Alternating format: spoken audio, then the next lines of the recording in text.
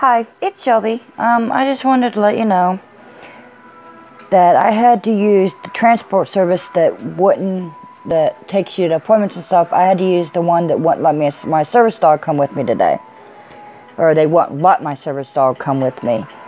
And a friend of mine, um, she said that to contact the um, the news a news channel or news about what happened and I contacted them and they basically told me they asked for a little more information like how long it's been going on talked to the manager. Well the manager is actually the one that told me that my service dog couldn't come with me.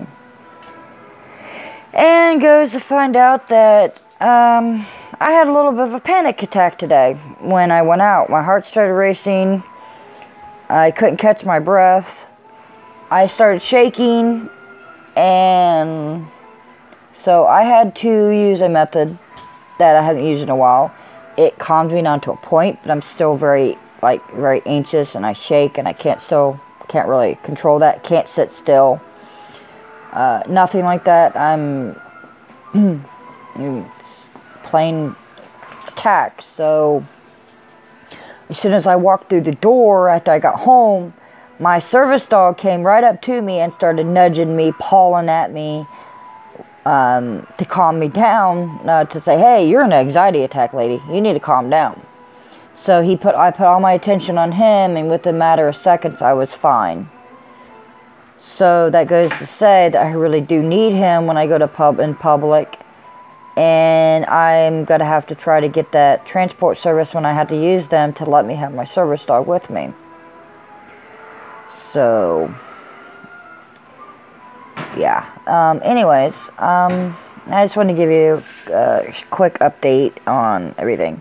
And um, in the um, thing, I will give you a um, picture of him with a perfect under a doctor's appointment yesterday, or yes, not yesterday, day before yesterday and so you guys can see like how he does. He's actually starting to really do really good with that, that great under. So he's starting to do really good on the block and guard.